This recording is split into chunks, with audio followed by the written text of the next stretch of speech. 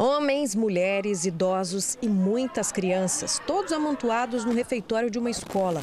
Assim como os móveis, eletrodomésticos e o pouco que eles conseguiram tirar das casas deles antes de serem destruídas. A lembrança do que aconteceu na semana passada para essa faxineira ainda é motivo de choro. Cada dinheirinho que a gente ganhava, entendeu?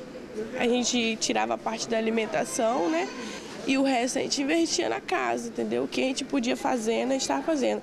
A gente já tinha é, construído já o resto da base para construir os quartos.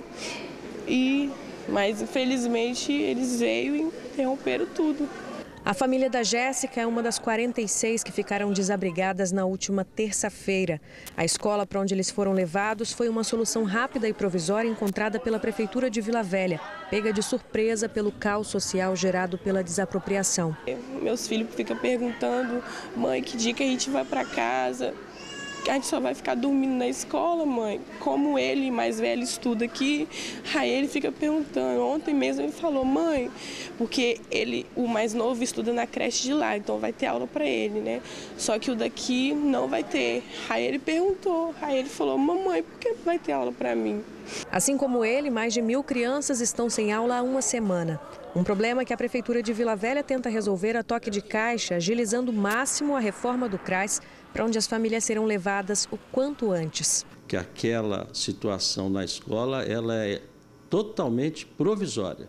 As pessoas vão para o local aonde o município está é, realizando as obras. 28 famílias continuam alojadas aqui na escola. E para a maioria delas, essa mudança daqui para o CRAS, mesmo sendo no mesmo bairro, não será nada boa. Eles têm medo da falta de segurança do local. Ela não tem segurança nenhuma, é muita divisa de, de, de guerra e de tráfico.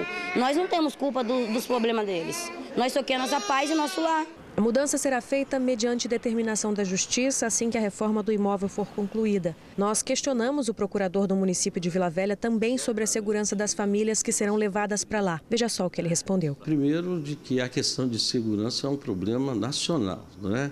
Agora, é, as pessoas vão estar dentro de um patrimônio público de forma temporária e certamente é, nesse período nós não podemos resguardar pessoas, mas o patrimônio público ele vai ser resguardado e, via de consequência, as pessoas que estão ali dentro estariam também resguardadas. Agora, as questões pessoais inerentes a cada pessoa, isso o município não tem como estar é, protegendo. Em um cenário tão cheio de improvisos, fica difícil até pensar no que vai ser do futuro. Eu peço a Deus, né, para dar força a gente cada dia mais para a gente erguer a cabeça e continuar.